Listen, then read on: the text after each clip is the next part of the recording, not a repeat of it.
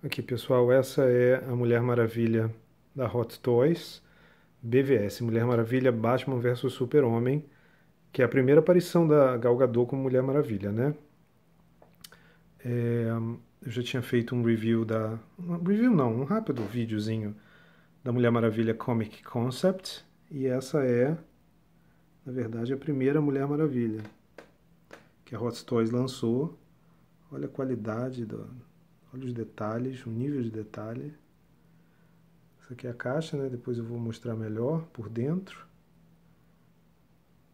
Tem aqui o...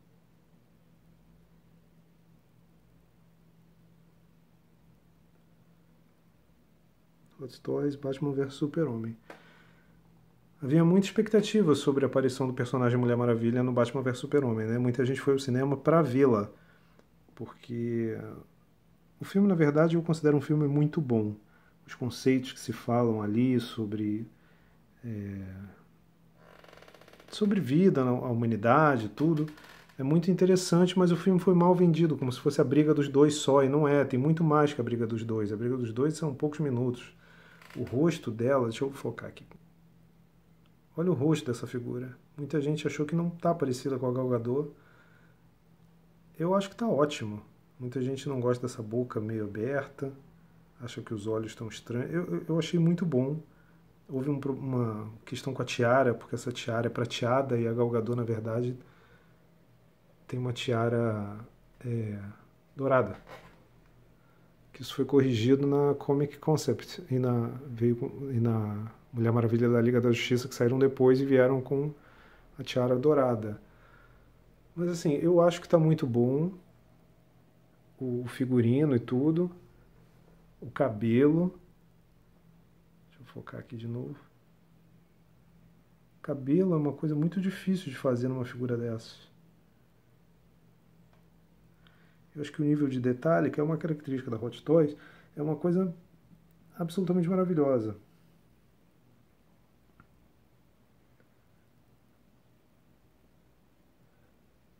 Eu tive vários Hot Toys até 2015, depois eu me desfiz de todos. E quando eu comecei de novo em 2018, a primeira que eu comprei foi essa aqui porque eu fiquei absolutamente apaixonado, apaixonado por ela. O nível de detalhe e a beleza da figura, né? Eu vou virá-la aqui de costas para vocês verem como é que ela é de costas. Olha, aquela de costas. Eu acho um nível de detalhe maravilhoso um acabamento. E esse cabelo, gente. Sabe, a, a ondulação correta, sabe, parece cabelo de verdade.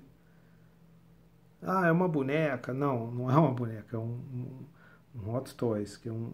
A Hot Toys fabrica action figures considerados de luxo, são os mais caros do mundo. E tem esse nível de detalhe, né? Eles não são feitos para criança brincar. Eles são feitos para serem poseados, né? Tem 30 pontos de articulação, mais ou menos. Eu, particularmente, não gosto de posear porque, principalmente quando o corpo é assim, exposto, tem a pele, a borracha e tudo, é, pode marcar, pode danificar. Então eu, eu fico satisfeito em deixá-los, como diz um amigo meu, em posição de vela, com os braços para baixo e tudo. Eu vou voltar lá para frente, aqui para. Pronto, tá aqui. É, ela vem com vários acessórios, né, que tem no filme, a espada, o escudo, mas para mim, como eu já mencionei no vídeo da Mulher Maravilha Concepts, Comic Concepts, que eu vou até deixar aqui marcado para quem quiser ver, é, no link aqui abaixo no, na descrição desse vídeo. Para mim, a Mulher Maravilha clássica é que tem o laço mágico. Ela não usa nem espada nem escudo, que isso é uma coisa dos quadrinhos, né? Então eu prefiro a Mulher Maravilha, por isso que eu só botei o laço mágico aqui na mão. Eu prefiro o laço mágico só. Eu acho uma imagem muito boa dela. Inclusive tem um filme muito interessante chamado Professor Master and the Wonder Woman, que fala sobre a origem da Mulher Maravilha, que foi um homem que criou, professor de Harvard, e a Mulher Maravilha tem toda uma coisa de é, sexual, né? É, sadomasoquismo e tudo, o laço mágico foi criado por uma questão de é,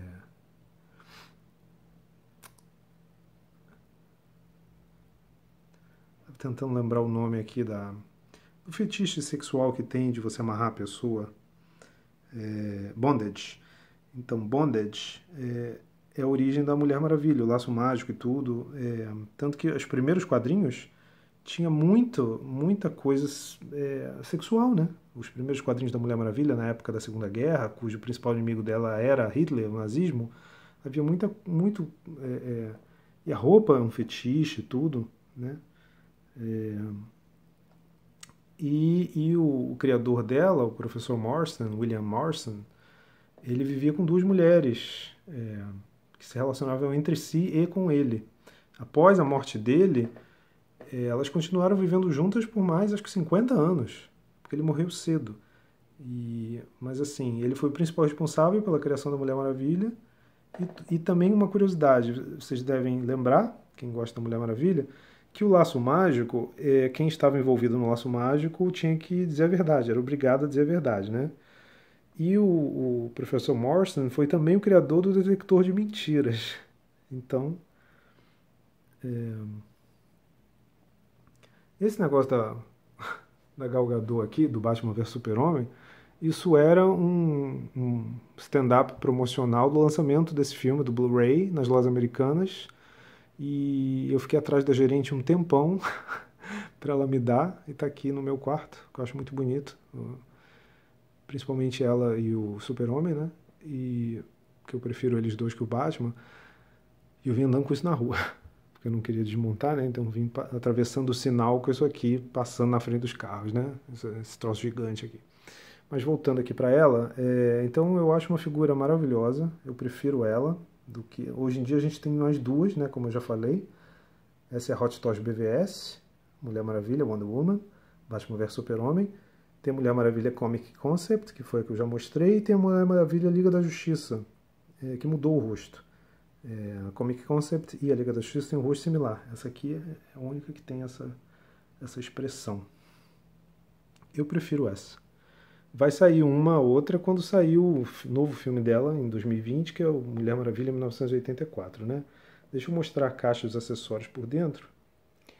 Aqui, então é, a caixa tem esse papelão vermelho dentro, né? Que é a figura da, da Hot Toys, não o Galgador, é né, aqui o, brilha aqui o, o símbolo dela, né? Aqui tem os criadores da escultores, né, da, do rosto e tudo. E aqui, é, as mãozinhas para você trocar, né? Para segurar o escudo, a espada. A espada, deixa eu dar um foco aqui. Ó. Esse círculo aqui embaixo, esse espaço aqui é onde fica o laço mágico, né? Aqui são os braceletes quando ela bate, que ficam com poder.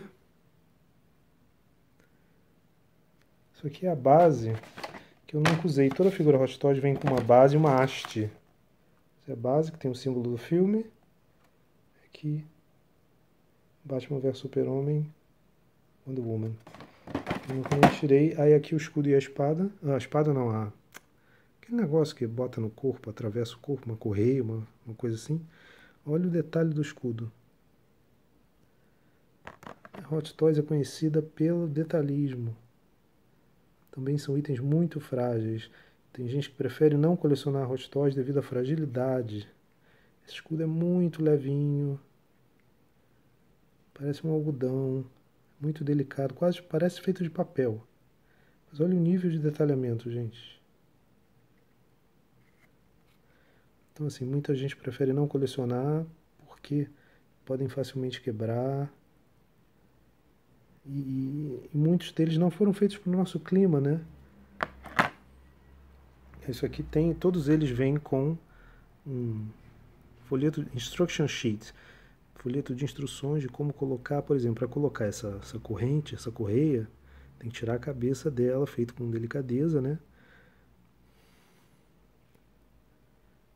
Puxa como é que prende, tá vendo? E aqui como é que coloca o laço mágico na cintura.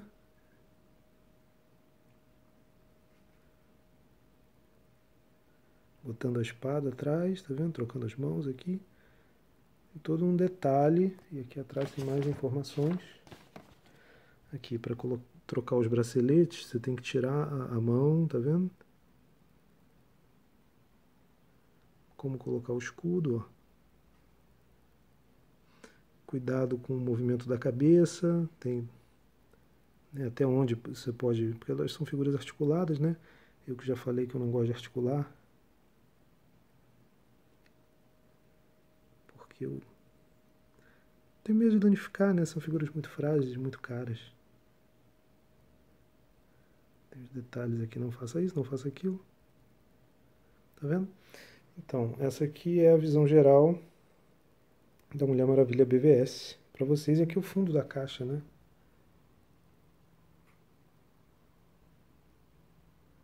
Tem aqui os detalhes e tudo. A caixa veio um pouco amassada aqui.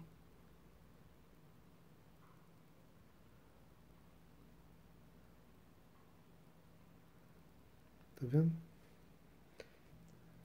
Terminar aqui mostrando a figura mais uma vez.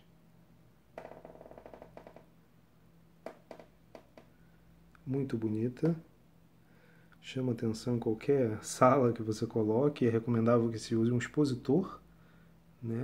Há expositores unitários à venda no mercado, para que não pegue poeira, né? Ou ninguém se sinta impelido a colocar a mão, pegar, levantar, tirar do lugar e tudo, porque eles são muito frágeis. São objetos de colecionador, na verdade, né? Deixa eu focar mais o rosto aqui.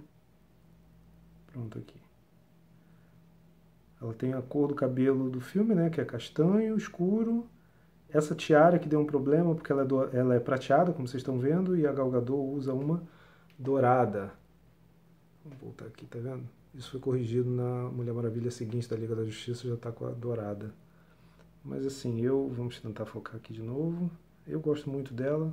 Esse caimento desse cabelo que você pode sempre colocar mais para cá o gosto do freguês, você pode né, ficar